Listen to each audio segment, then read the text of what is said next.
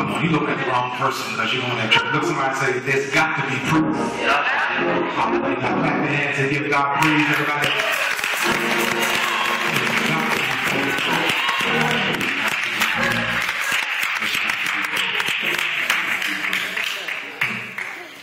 Uh, captured here, uh, this is uh, about 32 years of following the resurrection of Jesus Christ. This is about 32 years of following of the birth of the church that was in a little room that was smaller than this, that was hotter than this, where there was no air conditioning, where there was 120 folk crammed in that little room. And not only were they in that little room for about an hour and a half, but they were in that little room and didn't move for 10 days and 10 nights. Look at somebody and say, Lord have mercy. So you think you hot in here. They were there for 10 days and 10 nights in that room. And the reason why they were there and they weren't going to move is because they were waiting for the Lord to move. It seems to me, I don't care how bad the situation is, how hot it gets, how bad it gets, when you're waiting for a move of the Lord, nothing else matters. You're going to sit there, you're going to wait, you're going to sit there until God comes through. Because you know that you need God to bless you. You need God to come through and intercede for you. Everybody say amen. So as Paul is composing this letter and writing to the church of Ephesus, he was also writing to the Galatian church at the same time. Uh, and he was encouraging both churches. Wrote two letters in the space of a month and a half while he was in jail. It's incredible how you can bless other folk when you're going through rough times yourself. Amen. How you can help somebody, how you can lift somebody, Amen. how you can encourage somebody when you're going through it yourself. If you just think at some of the times that you help folks and bless folk the most were not the times that you were riding high on the mountain.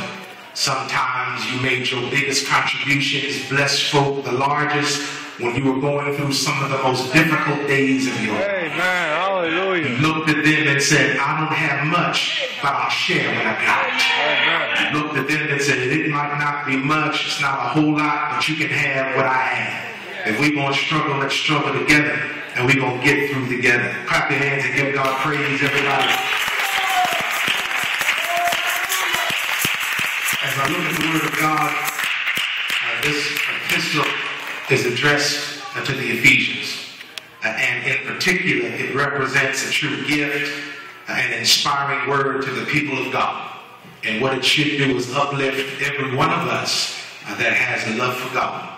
It should uplift every one of us that wants to give God glory and praise. Uh, Paul opens this letter uh, by explaining not bad things. It wasn't an issue that Paul was addressing. It wasn't a time that Paul was saying, You all messed up, and I got to write this letter to correct you. And we see that in the Word of God as he writes uh, to the church of Corinth and 1st and 2nd Corinthians, where that church was just going through. That church, they were suing one another. They were talking about one another. They were treating each other bad. They were just going in and out and doing all kinds of bad things. But that's not the story of this church uh, at Ephesus. Paul uh, told these people uh, that how blessed they really were.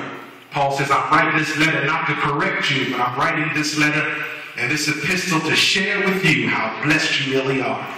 Uh, it's a good thing you get good news. So he said, not only how blessed you really are, but God shared with them how much the Lord loved them, how God chose them, and how they were accepted in the beloved Jesus Christ.